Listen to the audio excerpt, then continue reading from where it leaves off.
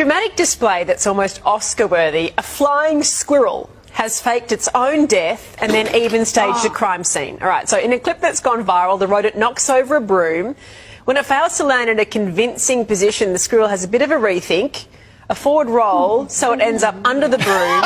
It's pretty convincing for a devastating murder scene. And it, hang on, final flourish. The squirrel ending up with arms splayed and the murder weapon across oh. its chest.